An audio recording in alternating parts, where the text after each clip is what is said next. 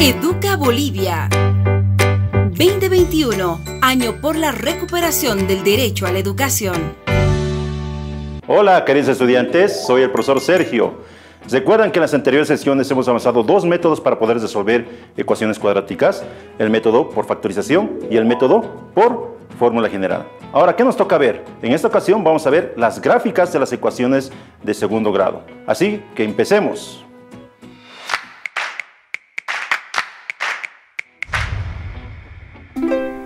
Muy bien, como ya decíamos, en esta ocasión lo que vamos a hacer es pues aprender a graficar las ecuaciones cuadráticas. ¿Está bien? Bueno, para ello lo que tenemos que recordar pues algunas cosas muy importantes. Lo primero, las ecuaciones cuadráticas pues ya sabemos que tienen esta forma, ¿cierto? Esta forma general, ¿sí? A por x al cuadrado más bx más c igual a 0. Esto es una ecuación cuadrática completa, ¿cierto? Pero también sabemos que existen las ecuaciones cuadráticas incompletas, como esta y también esta otra. ¿Verdad? Tenemos estas tres formas de ecuaciones cuadráticas que ya hemos aprendido a resolver cada una de ellas por diferentes métodos. Bueno, ahora, pensemos, ¿cuál era la gráfica de todas estas eh, ecuaciones cuadráticas? Bueno, la gráfica de esta ecuación o de estas ecuaciones cuadráticas es esta imagen. Tiene esta figura. Obviamente estamos trabajando en el plano cartesiano, ¿se dan cuenta? El eje de las X y el eje de las Y, ¿cierto? Esta figura es la que resulta de la gráfica de, un, de una ecuación cuadrática. ¿Cómo se llama esta figura? Se llama parábola. Muy bien, entonces las ecuaciones cuadráticas tienen como gráfico a una parábola. ¿Estamos de acuerdo?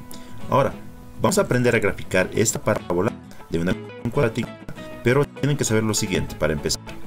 Nosotros si se dan cuenta que hay un punto que es el central, ¿cierto? Porque toda parábola es simétrica, ¿se dan cuenta? Y este punto de acá, que es el último punto, o el punto central, perdón, es el que define la simetría en nuestra figura. Y este punto se llama vértice.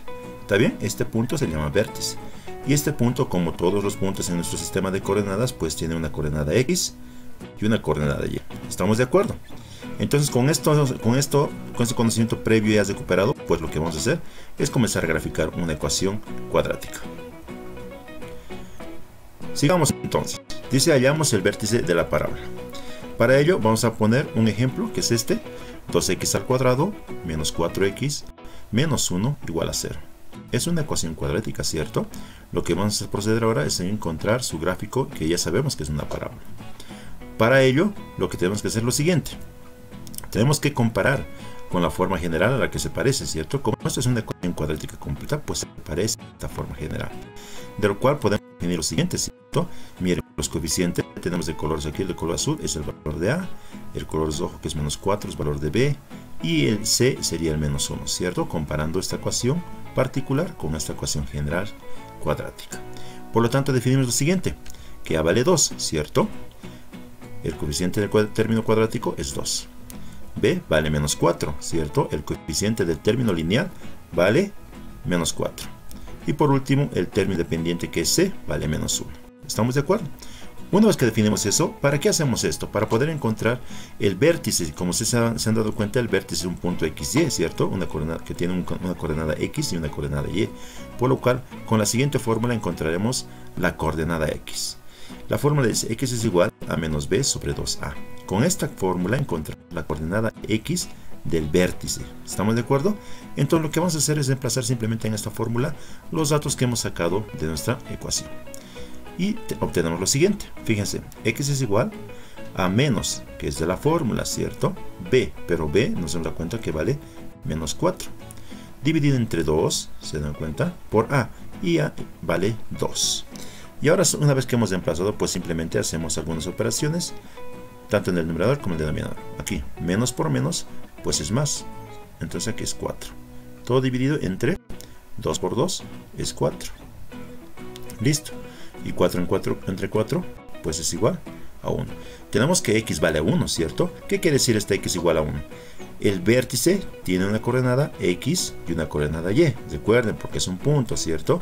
Por lo cual x vale 1. O sea que la coordenada del vértice en x es 1. ¿Estamos de acuerdo? ¿Qué vamos a hacer con ello? Sigamos. Dice ahora, hallamos el vértice y otros puntos de la parábola. Continuamos con el vértice para empezar. Sabemos que esta ecuación de ejemplo que tenemos. Entonces, de esta ecuación, nosotros ya hemos encontrado la coordenada x de su vértice. ¿Cuánto era? x igual a 1, ¿cierto? Ahora, ¿qué vamos a hacer para encontrar eh, la coordenada y de este vértice? Lo que vamos a hacer es lo siguiente. Es elaborar una tabla de valores. ¿Estamos bien? Como este x es la coordenada del vértice y el vértice es el punto central de nuestra parábola, pues yo voy a colocar aquí, miren en la columna de x, lo voy a colocar, ¿se acuerdan? No la tabla de valores, cierto, aquí voy a colocar 1. Muy bien. Ahora, ¿qué quiere decir? Cuando x vale 1, ¿cuándo valdrá y? Dice, eso nos falta encontrar. ¿Cómo encontramos y? Observe, volvemos a nuestra ecuación original. Esta es nuestra, ecuación que, pretendemos, graficar. ¿Qué hacemos? Volvemos esta ecuación en una función. ¿Cómo lo convertimos? Simplemente colocamos y adelante y colocamos igual a toda la ecuación. En otras palabras, igualamos toda la ecuación a y. Y de esta forma se, eh, se conforma en una función. Y como función, pues ya podemos graficar. ¿Qué vamos a hacer ahora? Este 1 que hemos puesto acá, que hemos sacado de la formulita para poder encontrar el vértice, vamos a emplazar en vez de esta x, ¿está bien? En esta ecuación, con esta función en este caso, ¿cierto? Por lo cual tenemos lo siguiente. Tenemos que y es igual a 2. 2 por x. Pero x vale 1, ¿cierto? Por 1, pero ese 1 está al cuadrado. Menos 4 por x, pero x vale 1, definimos, ¿cierto? Y menos. Se dan cuenta, hemos emplazado esta x, que vale 1, en nuestra ecuación o en nuestra función, en este caso, para encontrar el valor de y. Seguimos. y es igual a qué? 1 al cuadrado, pues 1 nomás, y 2 por 1 es 2. Menos 4 por 1 es menos 4. Y menos 1. ¿Estamos de acuerdo? Por lo cual y es igual. 2 menos 4 es menos 2. ¿Está bien? Menos 2 menos 1 es menos 3. Fíjense, y vale menos 3. ¿Cuándo? Cuando x vale 1. ¿Estamos de acuerdo? Entonces colocamos aquí y que había valido menos 3 cuando x vale 1. Por lo cual seguimos entonces. Y así encontramos los siguientes valores para poder eh, encontrar todos los, todos los datos suficientes para llenar nuestra tabla de valores. ¿Estamos bien? Ahora, ¿qué vamos a hacer? Pues damos esto. Lo que vamos a hacer es dar otros valores a x. Pero siempre lo aconsejable es que nos demos, como ya hemos encontrado el vértice, nos demos 5 puntos como mínimo para poder graficar adecuadamente nuestra parábola. Entonces, ¿qué vamos a hacer? Como el central es el 1 en x, vamos a colocar aquí arriba los que son superiores. X sería el 2 y x sería el 3. Y abajo los inferiores inmediatos, que sería el 0 y el menos 1. ¿Cierto? Y con esos valores pues encontramos los valores de y. Por lo cual, decimos que x vale 3. Cuando x vale 3, en la misma ecuación, en la misma función en este caso, ¿no? Y es igual a 2 por 3, que vale x, pero al cuadrado, menos 4 por x, pero en este caso sabemos x cuánto vale, vale 3, ¿cierto? Entonces por 3 menos 1. Seguimos. Y es igual a 2 por 3 al cuadrado, sabemos que es 9, menos 3 por 4, o menos 4 por 3, es menos 12, ¿cierto? Y todo menos 1. Finalmente, y es igual. 2 por 9 es 18, ¿cierto? 18 menos 12 menos 1. Y tenemos lo siguiente, 18 menos 12 pues es 6, 6 menos 1 es 5. Y vale 5. Cuando x vale 3, y válido 5. ¿Estamos de acuerdo? Hacemos lo siguiente cuando x vale 2. Con este punto de x. Entonces, cuando x vale 2, le hacemos el mismo reemplazo. y es igual a 2 por x, pero x vale 2, pero este 2 está al cuadrado. Menos 4 por x, pero x vale 2. Menos 1. ¿Estamos de acuerdo? Y seguimos haciendo las operaciones. 2 por 2, 4. Y 2 por 4, pues es 8. 8 menos 4 por 2 es 8 menos 1. Por lo cual, y es igual. 8 menos 8 es 0. Y simplemente me queda menos 1. Cuando x vale 2, y vale menos 1. Fíjense. Entonces de esta manera es como encontramos los siguientes valores, ¿cierto? Fíjense, hemos encontrado los valores cuando x vale 3 y también cuando x vale 2. Ahora nos faltan para dos valores, ¿cierto? Nos falta para lo que es x igual a 0 y también para x igual a menos 1, que con eso completaríamos los 5 puntos y podremos graficar nuestra parábola. Entonces hacemos eso. Cuando x vale 0, en la función ya saben, y es igual a 2 por x, pero vale 0 al cuadrado, menos 4 por 0, que vale x, menos 1. Y es igual.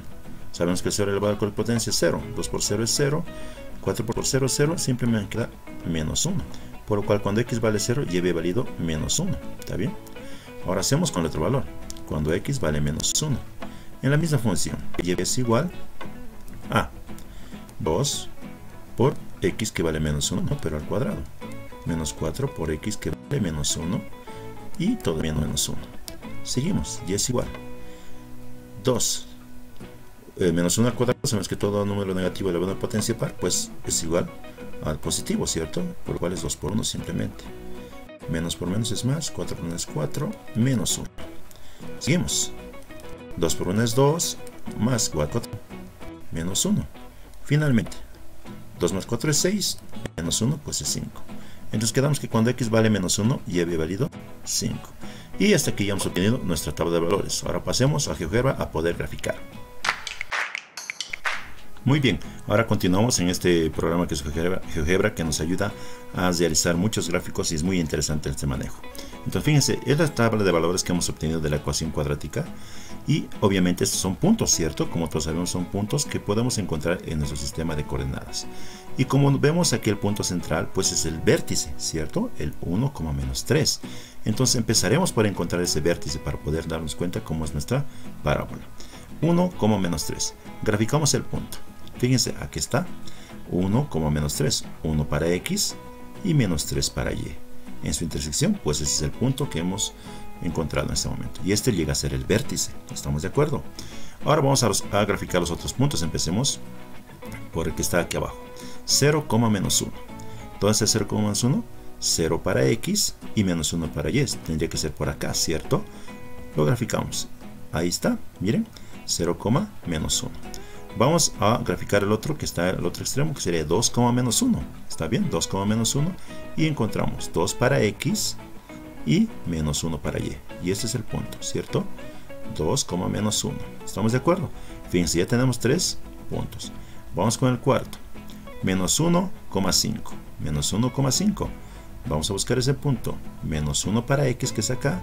Y 5 para y positivo, que es este aquí entonces encontramos el, cuarto punto que es este.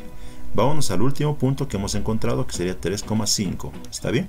Obviamente el encontrar el orden de los puntos no, hay ningún problema. Igual vamos a encontrar todos eh, para poder graficar la parábola, ¿cierto? Por lo cual 3,5 ¿dónde se encuentra? Se encuentra aquí. 3 para X y 5 para Y. 3,5. Y fíjense como el punto 1, menos 3, pues el punto central de la figura. Ahora graficaremos la parábola. ¿Cuál será la figura? Pues recuerden, es esta es una parábola, ¿cierto? Fíjense, es una parábola. Y el punto central de esta parábola pues será justamente en 1, menos 3, que es el vértice. Y fíjense, esta parábola es la gráfica de esta función, en este caso que es 2x al cuadrado menos 4x menos 1, que tuvimos que convertir en función para poder graficarla, pero originalmente es una ecuación, ¿cierto? Bueno, con esto hemos terminado lo que es el contenido de ecuaciones cuadráticas y también su gráfica. Muy bien, estudiantes. ¿Se dieron cuenta que la gráfica de una ecuación cuadrática es una parábola? Y así pueden graficar muchas ecuaciones cuadráticas de esta misma forma en el sistema de coordenadas. Por lo pronto, te, invito a que puedas visitar las plataformas del Ministerio y todas las redes sociales del mismo, y ahí podrás fortalecer tus conocimientos con todo el material que vas a encontrar ahí. Así que nos vemos en la siguiente clase. ¡Chao! Educa Bolivia. 2021, año por la recuperación del derecho a la educación.